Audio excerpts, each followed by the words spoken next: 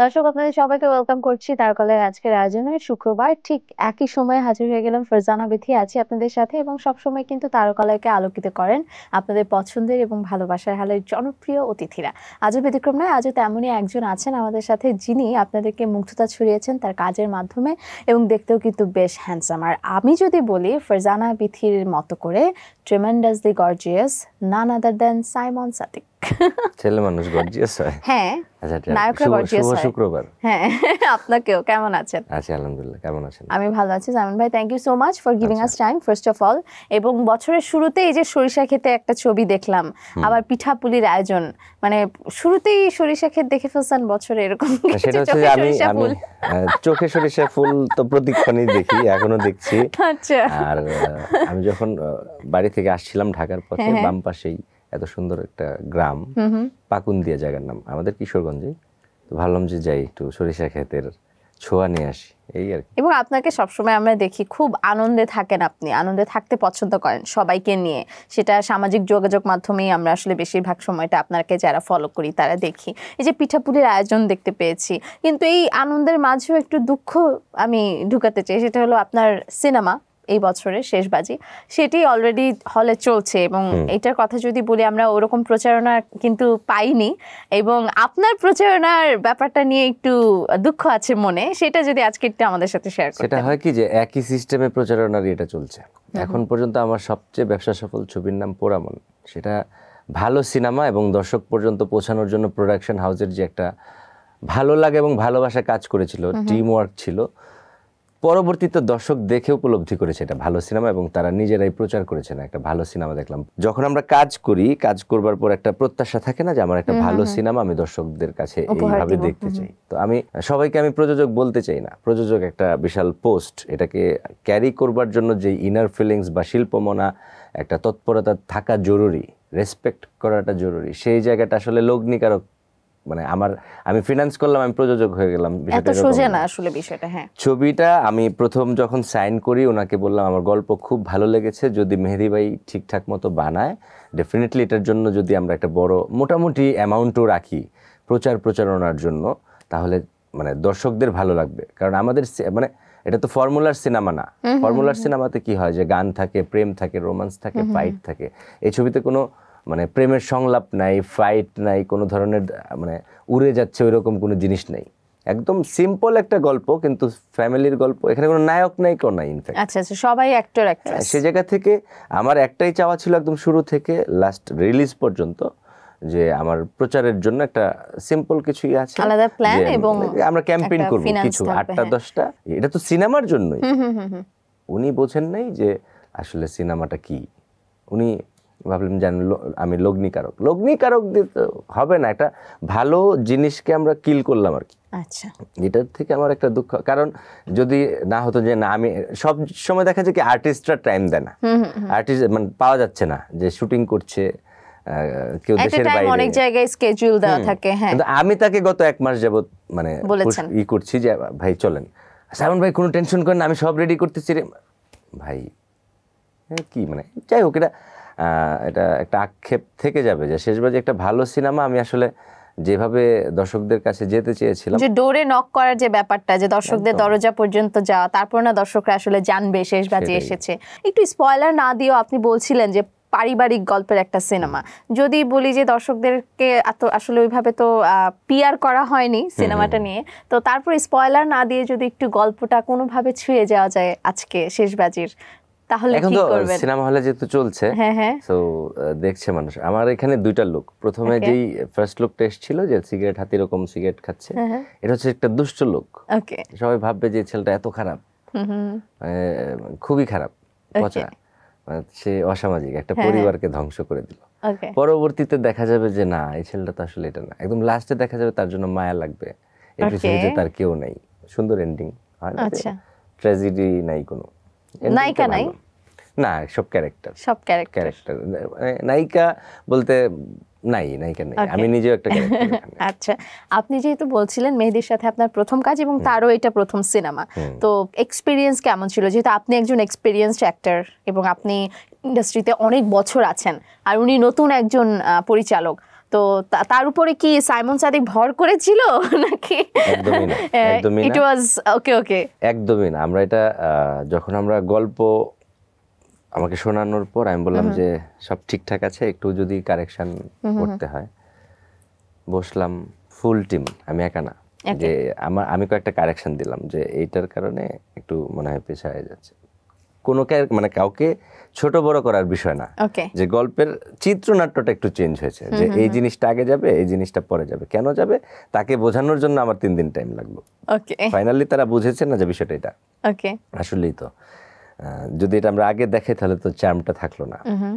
তো মেহেদি ভাই আমাকে অনেক সহ্য করেছে। এটা হচ্ছে খুব প্রথম কথা। আমাকে খুবই সহ্য করেছে। এবং সে সব জায়গায় বলে আমি নাকি তাকে খুব সাহস দিয়েছি। বা সাপোর্ট করেছি কিন্তু আমি বলব যে আমাকে সহ্য করেছে। সহ্য করেছে এরকম হ্যাঁ ভাই ভাই কোনো সমস্যা নেই। আরে তুমি যা বলবা হিরো।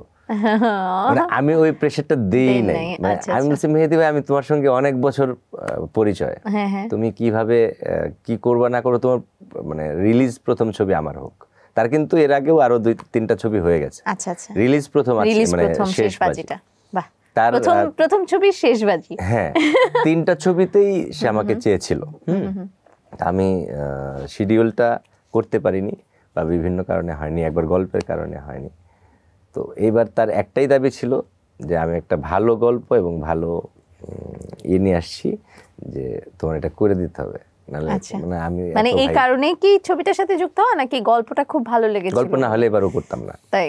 হ্যাঁ কারণ অনেক অপ্রত্যাশিত গল্প আমি করেছি স্ক্রিনে থাকবার জন্য সেটা অনেক আগে। সেগুলো আমাকে এখনও ভোগায় ভোগাচ্ছে এই ছবিটার কথা আপনি বলছিলেন যে ক্যারেক্টার আর্টিস্ট তো শিরিন শিলা আপনার সাথে এই ছবিতে জুটিবদ্ধ হয়েছেন আমরা তাকে দেখেছি।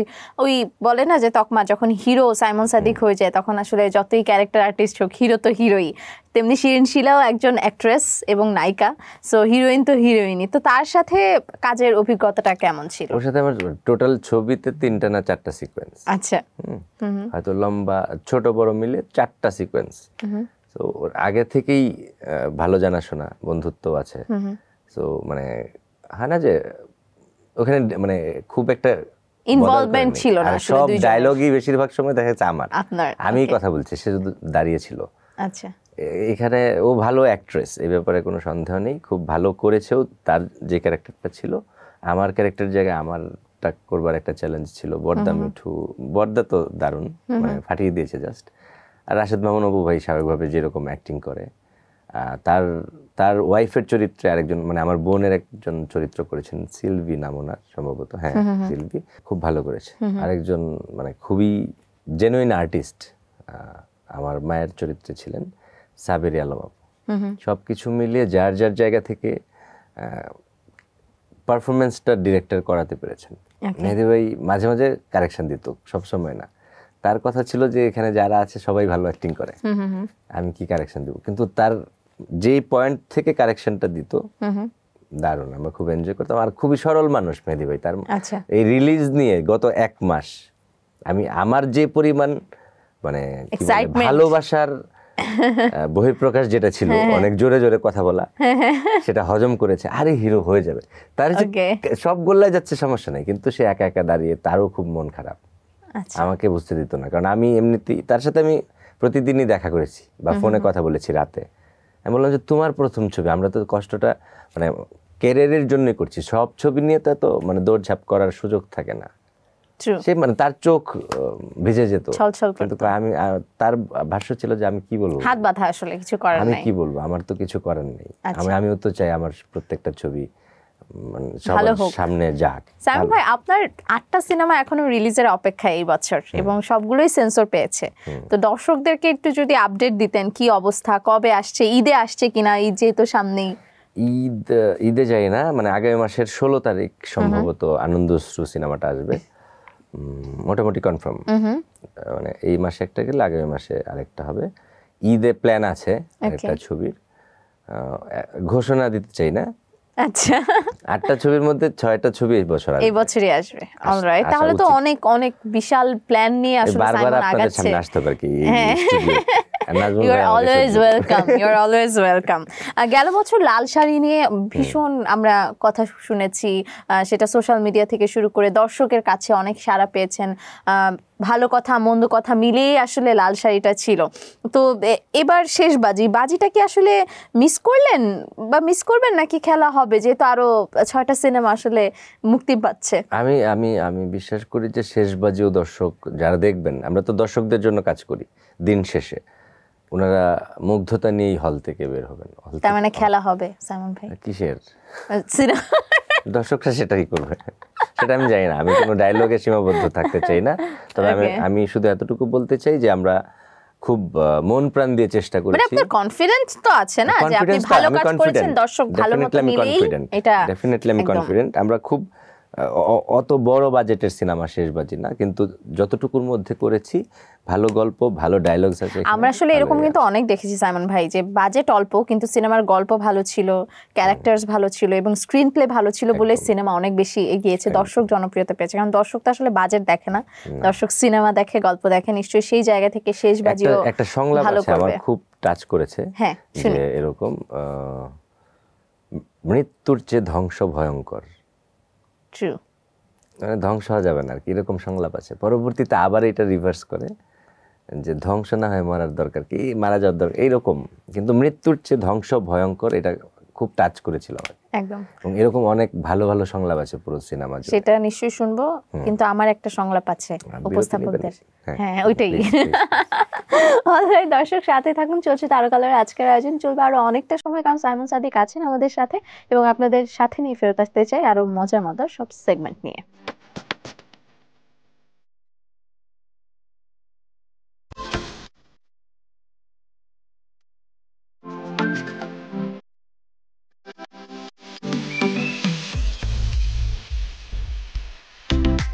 দর্শক, আপনাদের সবাইকে ওয়েলকাম ব্যাক করছি তারকালের আজকের আয়োজনে। যারা শুরু থেকে ছিলেন না টেলিভিশনের পর্দায়, তারা তো নিশ্চয়ই জানেন না কে আছেন আজকে তারকালয়ের অতিথি হয়ে।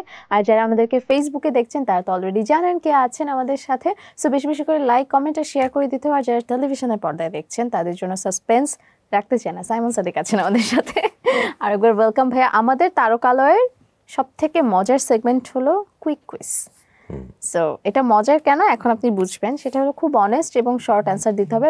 ইউ আর অলওয়েজ অনেস্ট আমরা জানি। আপনি খুব স্ট্রেট ফরওয়ার্ড যেটা সত্য সেটাই বলেন।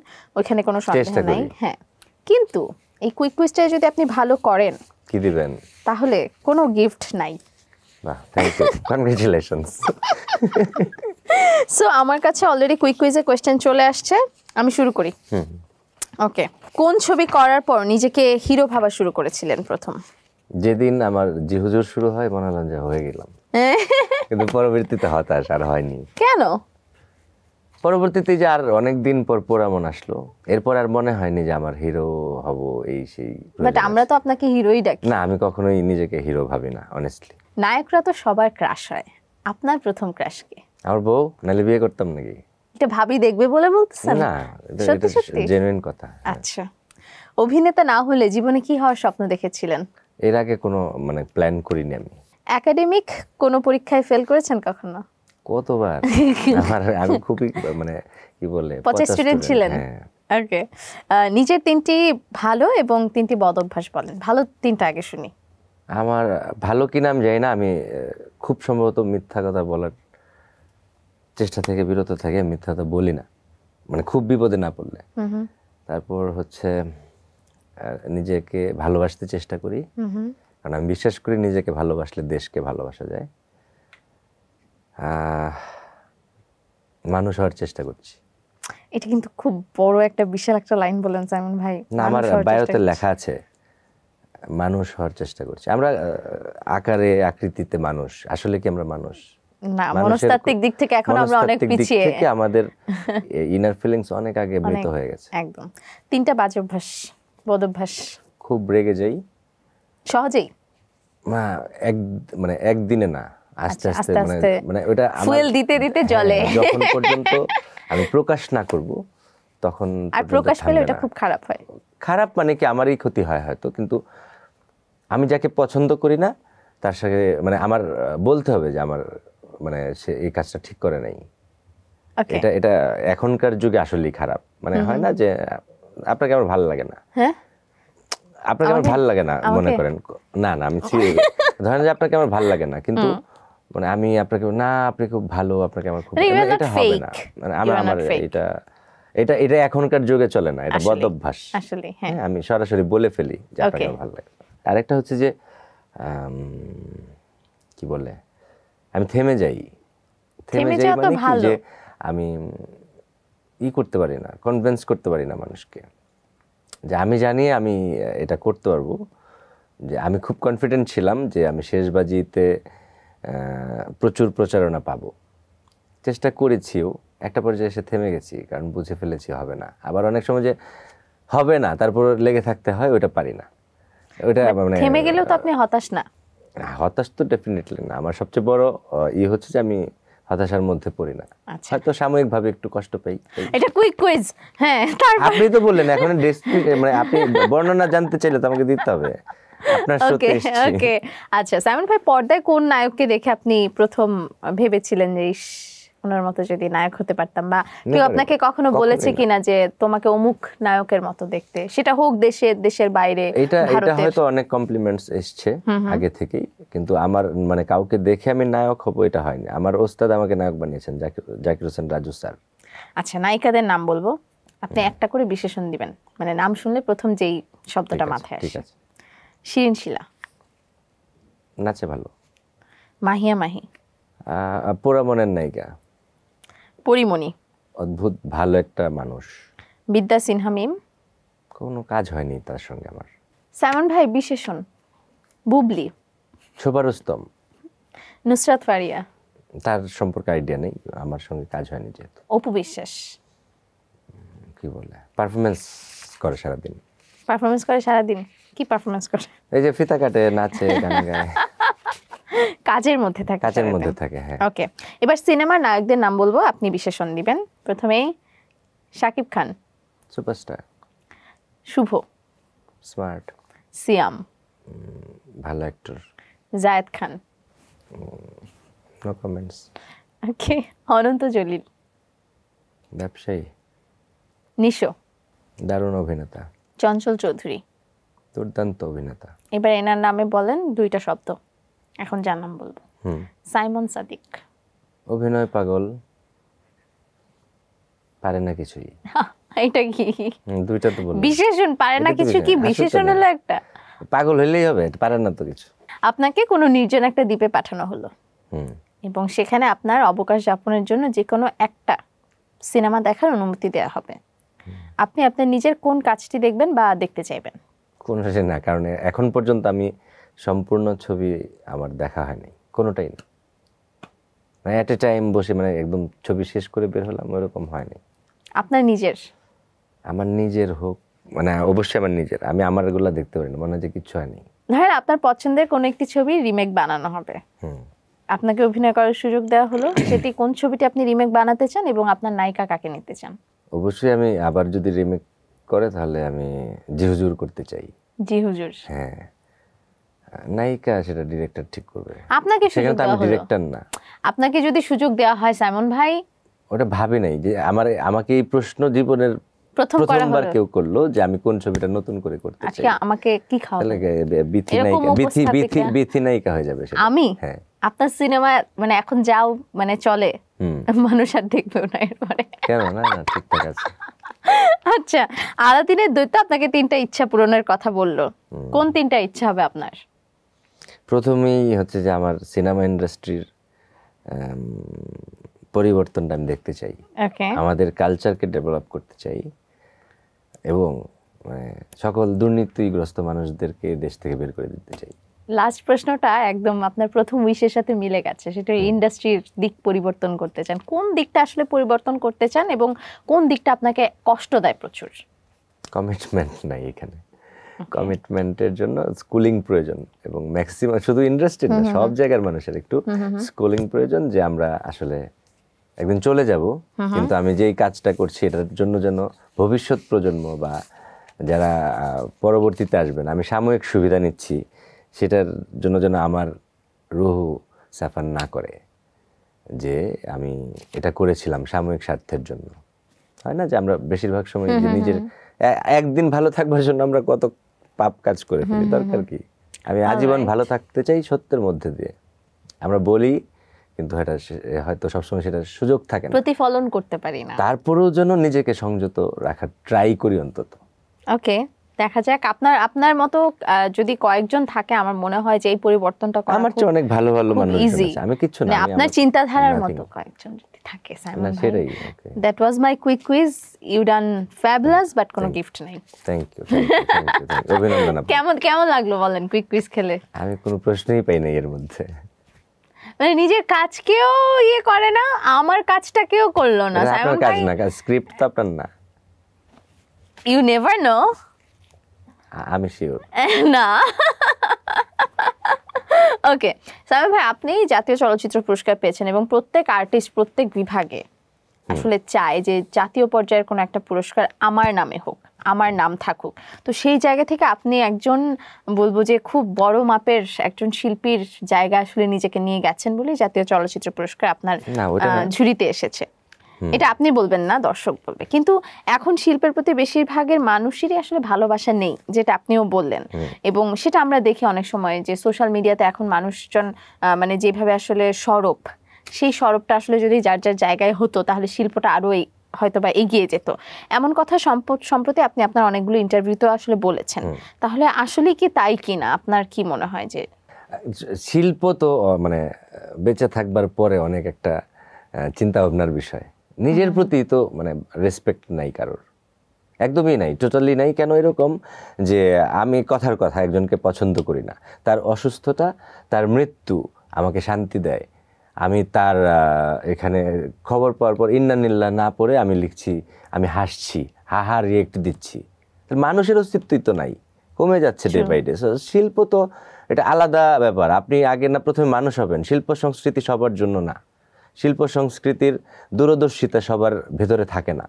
মানে এখন কথার কথা যদি কাজী নজরুল ইসলাম বা রবীন্দ্রনাথ বা অনেক লালন হুম। যারা বাংলাদেশ এবং বাংলাদেশ বাংলাদেশ না রবীন্দ্রনাথ সারা বিশ্বের কবি এরকম মানুষজন যদি এখন জন্মাতেন তাদেরকে কি পরিমাণ ট্রল করা হতো? আপনার কোনো আইডিয়া আছে? এদেশে মানে এই দেশে কি কি একটা নতুন শব্দ যেটা যেটা আমি যেটা আমি পছন্দই করি না। ভাইরাল শব্দটা আমার মানে পছন্দ না। এদেশে কি ভাইরাল হয়? ভালো সিনেমা ভাইরাল হয়? ভালো কাজ ভাইরাল হয়? এদেশে মানে আমার রাগ হয়ে যাচ্ছে আমি sorry Simon cool Simon Simon একটা বিরতি থেকে ফেরত আসতেছি Symon you you getting time দর্শক আমরা আমাদের খুল নায়ককে নিয়ে। বিরতির পর ফেরত আসব তারকালয়ের পর্দায় এবং বিজয় টিভির পর্দায়। সে পর্যন্ত আপনারা নিশ্চয়ই আমাদের সাথে থাকবেন, কারণ ছোট্ট একটা বিরতি নিচ্ছি।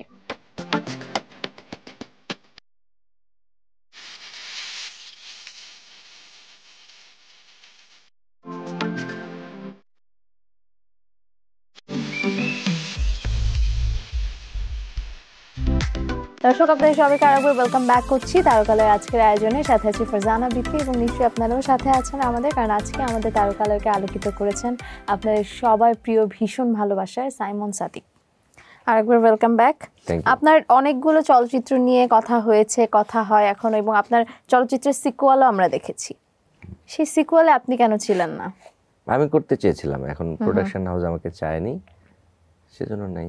তো সেইটা কি আপনাকে মানে সেই আক্ষেপটা কি আক্ষেপ থেকে যেহেতু আমরা না বিরতি সেটা তো আক্ষেপে তো আক্ষেপ তো আছেই মানুষ। এবং সেটা নিয়ে কি আপনার দর্শক আপনাকে এখনও বলে কিনা যে আপনি হ্যাঁ। থাকলে হয়তো বা বেটার হতো? প্রতিদিন কেউ না কেউ কোনো জায়গায় আমাকে বলে যে পোরামন টুতে কেন আপনি ছিলেন না? তাহলে পোড়ামন থ্রি যদি আসে হুম। সেক্ষেত্রে কি কোনো আবদার আছে?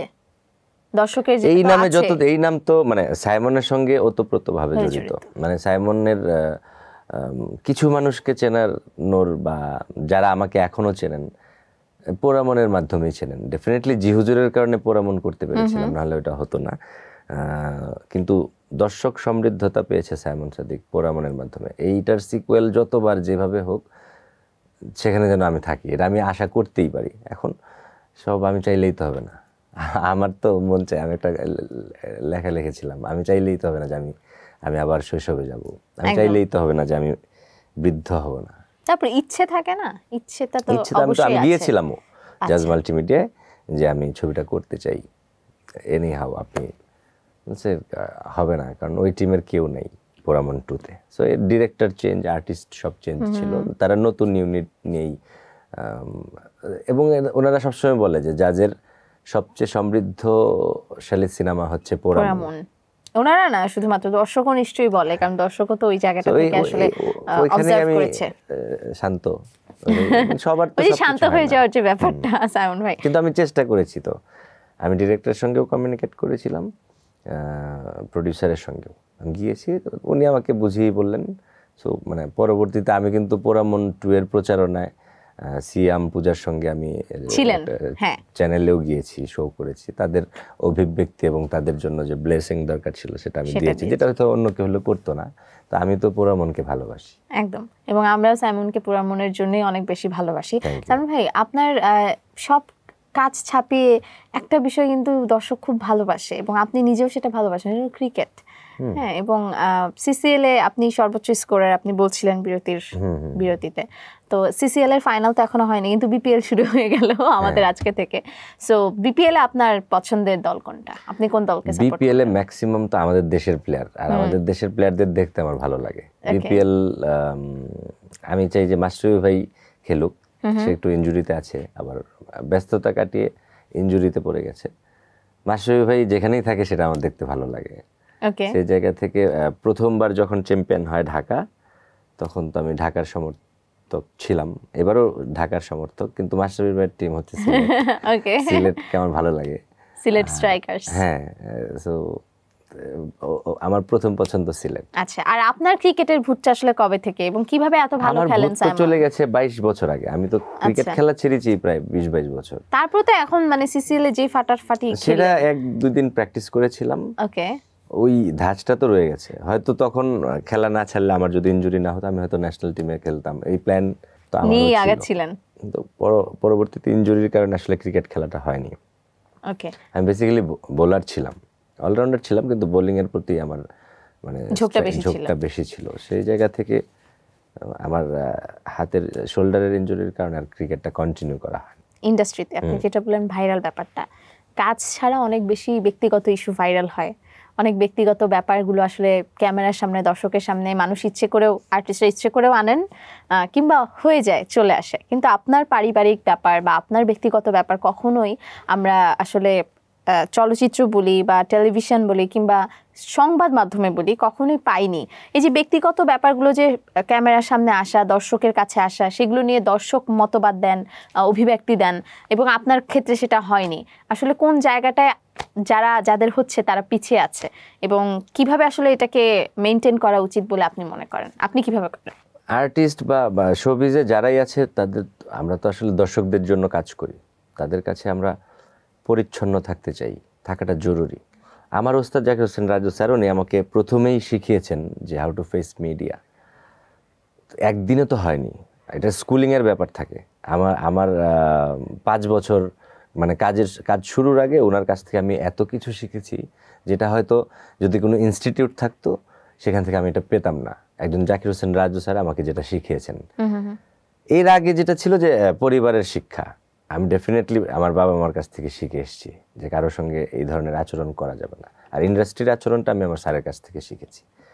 ওনার একটা ভাষ্যই ছিল যে মিডিয়াতে কথা বলার আগে অবশ্যই সংযত থাকতে হবে এবং নিজের লাইফস্টাইল কীভাবে মানে তুমি পরিচালনা করবে সেই ব্যাপারে তোমার সংযত এবং তোমার মাথায় ওই ক্যাপাবিলিটি থাকতে হবে।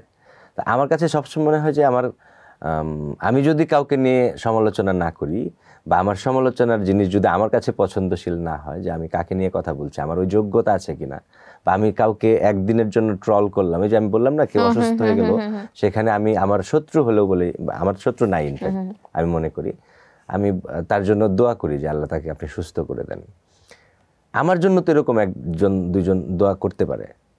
আমি পজিটিভলি চিন্তা করি। একদিন আমি অনেক কিছু হয়ে গেলাম পরবর্তীতে মানুষ বলে দূর ও তো এই ছিল। আমি কখনোই নেগেটিভ জিনিসের প্রতি আমার ঝোঁক নাই। কিন্তু এই যে পারিবারিক যে ব্যাপারটা যে আপনার বিয়ে আপনার বাচ্চা এই যে সিক্রেট রাখা আবার ফাঁস হয়ে যাওয়া এই ব্যাপারটা তো আমি তো বলেছি।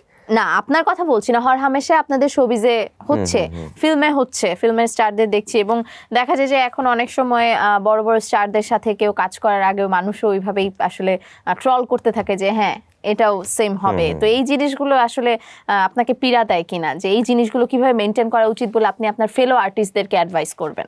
সেটা হচ্ছে শুধুই নিজের প্রতি কন্ট্রোল থাকাটা জরুরি এবং আমি কারও এই এই জায়গায় মানে কি বলে টেনে ধরার লোক তো সব জায়গাতে থাকে ডেফিনেটলি এখানেও আছে। নিজের প্রতি যত্নবান হতে হবে কাজটাকেই ভালোবাসতে হবে। যে এবং অবশ্যই ধৈর্যশীল হতে হবে এবং লোভটাকে বিসর্জন দিতে হবে। আমি এখানে টিকে থাকবার জন্য একদিনে আমি তারকা হয়ে গেলাম অনেক বড় তারকা। এক বছর পর হারিয়ে গেলাম দুই বছর পর থাকলাম না। ওটা প্রয়োজন নেই। যদি এটা আমি পেশা হিসেবে নেই আমি যদি আমার প্রতি যত্নশীল হই অনেক বেশি লালন করি ধারণ করি যে ইন্ডাস্ট্রিটা আমার এবং আমার কাজের মাধ্যমে আমি আগামী একশো বছর পর বেঁচে থাকব আল্লাহর কাছে চাইলে আল্লাহ সব দেয় এর বড় কথা না। কিন্তু সাইমন ভাই আপনার বাবা একজন সফল রাজনীতিবিদ। এবং আপনি আমরা জানি যে গ্রামে যখন যান এই যে আপনি নিজে বললেন আপনি খুবই ডাউন টু আর্থ আপনি যখন মানুষের সাথে মেশেন পিকনিক করেন সবার সাথে খেলাধুলা করছেন হাসি মুখে কথা বলছেন আচ্ছা না যে প্রথমত আপনি একজন নায়ক দ্বিতীয়ত আপনার বাবা একজন রাজনীতিবিদ বাট আপনি রাজনীতির এসপার ওসপার উসপার কোনো পারেই নাই আপনি রাজনীতির সাথেই নাই। সো সবকিছু মিলে যদি বলি যে কেন আপনি এরকম? আসলে এই শিক্ষাটা বা এই ডিসিশনটা কি আপনার নিজের নেয়া কিনা বা অন্য কারও দ্বারা আপনি ইনফ্লুয়েন্স কিনা যে না আমি আসলে এরকম হব না আপনার ব্যক্তিত্বটাই আসলে এরকম ছোটবেলা আমি হয়তো এরকম মানে আমি সবসময় মানে কুল আমি আমাকে নিয়ে অত ভাবি না কিন্তু আমি যখন দুই হাজার সালের পর পর ঢাকায় রাগ করে চলে আসি তখন তো অনেক ক্রাইসিস ফেস করতে হয়েছে. তখন আমার ত্রিভুবনে কেউ ছিল না। হ্যাঁ যেহেতু রাগ করে এসেছি আমি মানে কিছু একটা না করে আমি যাব না বিষয়টা এরকম ছিল তো ওই ক্রাইসিসগুলো থেকে আরও শিখেছি। এর আগে তো মোটামুটি একটা মানে পরিচিত ফ্যামিলি থেকে এসেছি মোটামুটি সম্ভ্রান্ত বলা যায়। এটা অনেকেই বলেন আর কি। কোনো কিছুর অভাব ছিল না। ঢাকায় এসে বা ঢাকায় আসার আগ থেকে আমি হয়েছে কি যে শুধু শুধু আহ, রাগ করতাম আর কি। আমার বাইন্ডিংস ভালো লাগতো না। যে আমি দৌড়াদৌড়ি করব আমি খেলাধুলা করব বন্ধু বান্ধব নিয়ে ঘুরতে যাব। আমার সন্ধ্যার পরে গিয়ে পড়তে হবে। বাড়িতে যেতে হবে। এটা আমার ভালো লাগতো না। একটু এর জন্য এত ফেল করছে সাইমন। হ্যাঁ, পরবর্তীতে ঢাকায় আসবার পর আমার যে সার্কেল ছিল আমি যেই মেসে থাকতাম কাপফুলের একটা মেস একদম গণ মেস বাবুল ভাইয়ের মেস নামে পরিচিত। সেইখানে এত মানুষ দেখেছি আমি চৌষট্টি জেলার মানুষ। হরেক রকমের। হ্যাঁ হরেক রকমের। এই চলতে চলতে ফিরতে খুব সাধারণ মানুষ সবাই। মানে সেখানে আমাকে আমার কিছু নাই তারপরেও তারা আমাকে অসাধারণ ভাবতেন। একটু আগে বলছিলেন না যে আমার আমাকে জীবনের প্রথমবার আমাকে কেউ যদি বলে "এই তুমি নায়কের মতো এনে কি করো? ওকে আমার মেসের যিনি মানে মালিক ছিলেন বাবুল ভাই তিনি বলেছিলেন যে তুমি এখানে কি? তুমি এখানে থাকতে পারবে না তো? তা আমি তো জানি আমি পারব কি পারব না। পরে আমি সাত বছর ছিলাম ওই মেসে সাত বছর? ইনফ্যাক্ট আমি এখনও ওই মেসে যাই। দেখা মেসে গিয়ে আড্ডা দিই। এখন হয়তো ওই ফ্রেন্ডগুলা নাই কিন্তু ওই ফ্রেন্ডদের সাথে আমার যোগাযোগ আছে। ওকে তাদের সাথে আমি থার্টি ফার্স্ট করি। আমার থার্টি ফার্স্ট হয় না যে নায়কদের অনেক প্রোগ্রাম থাকে আমি না আমি কোথাও যেতাম না। আমি আমার ওই মেসেই যাই। এইটা মানে এটা আমার শেকরের মতো। এটা আমার অতীত আমার কাছে আমা- আমা- আমাকে যতটুকু সমৃদ্ধ করেছে ওই মানুষগুলো। এর আগে তো আমার পরিবার আমি তো সেটা বললাম এখান থেকে আমি অনেক কিছু শিখেছি। তাদের অনেক ভালোবাসা পেয়েছি। ওটা আমাকে অনেক পে করেছে। পরবর্তীতে ডে বাই ডে আমি আমার বিভিন্ন স্টেজে বিভিন্ন ধরনের মানুষদের সাথে চলেছি যে এখন ধরুন যে আপনার সঙ্গে কথা বলছি আপনার পার্সোনালিটি মানে এই ইয়ের সঙ্গে যায় কিনা এখান থেকে ধরেন একটু নিলাম। আরেকজনের কাছে আমি যে কোনো সময় থাকব না এটা নিয়ে পৃথিবী সো মানে আমার এই কথা কথার কারণে হলেও একটা সময় মানুষ বলবে না সাইমন ঠিক কথা বলতো। মানে অনেস্ট কথাটা বলতো। একদম। সবাই তো সবসময় একদম খুব মানে সত্য কথাটা বলতে পারে না। সবসময় আসলে দেখা যায় যে নায়ক নায়িকারা কোনো জায়গায় টাইমলি যান না দেরি করে আসেন এই যে প্রোডাকশনে সবাই বসে থাকে এই জিনিসটা আপনার সাথে কখনো হয়নি আপনি করেন না। চেষ্টা করি। তো এই জিনিসটা আসলে কেন করেন তারা? আপনার কি মনে হয়? আমি বললাম না আমি একটা স্কুলিং এর ব্যাপার থাকে। আমার ওস্তাদ সবসময় বলতো যে ধর কথার কথা তোর শুটিং শুরু হলো পরের দিন দুইটায়। হুম এতে কি হলো? প্রোডাকশনের লস হলো। তোর একটা ব্যাড ইয়ে হইল যে সাইমন তো লেট করে আসে। এই যে শিডিউলটাই হলো পরবর্তীতে শিডিউলটা কিন্তু কাজটা তোরই শেষ করে দিতে হবে। সো যেহেতু এটা তোর পেশা হবে সো এটাকে মেনটেন করে যদি আগে চলে আসতে পারিস দেখবি আস্তে আস্তে আস্তে আস্তে হয়তো শুরুর দিকেই মানে সুফল পাবি না। কিন্তু একটা সময় সময় অনেক ব্লাস্ট হবে এবং সবাই বলবে যে সাইমন এরকম। এই যে এখন বলে সবাই। হয়তো বলে। হ্যাঁ হ্যাঁ। আমি বললাম তো বলে সাইমন ভাই। কেমন লাগল তার কালে এসে আজকে বলেন? শেষ অনুষ্ঠান। আমার আমার আহ, সবসময়ই ভালো লাগে বিজয় টিভিতে আসতে এই প্রোগ্রামও অনেক স্ট্যান্ডার্ড প্রোগ্রাম আমি দেখি। আর এর আগেও আমি এসেছি প্রোগ্রামে। ভালো লাগে ভালো লেগেছে। ভবিষ্যতেও আসতে চাই। আর আমি বিশ্বাস করি এই বছর যদি অনেকগুলো সিনেমা মুক্তি পায় এই প্রোগ্রামে বারবার আসবে। ইনশাল্লাহ। নিশ্চয়ই আপনাকে আমরা পাবো আমাদের প্রোগ্রামে এবং সবসময় যেভাবে পাই আপনার সব ভালোবাসার কাজগুলো পাখা মেলুক এবং আপনি যেরকমটা আছেন এরকম করে এগিয়ে যান। সেই দোয়া রইল। থ্যাংক ইউ থ্যাংক ইউ দর্শক আজকের মতো সাইন আউট করছি তার কালে থেকে তবে কথা দিচ্ছি নেক্সট উইক হাজির হয়ে যাব আপনার পছন্দের এবং ভালোবাসার হালের জনপ্রিয় কোনো না কোনো তারকাকে নিয়ে তারকালয়। সে পর্যন্ত ভালো থাকুন সুস্থ থাকুন আর সবসময় যেটা বলি থাকুন বিজয় টিভির সাথে। শুভরাত্রি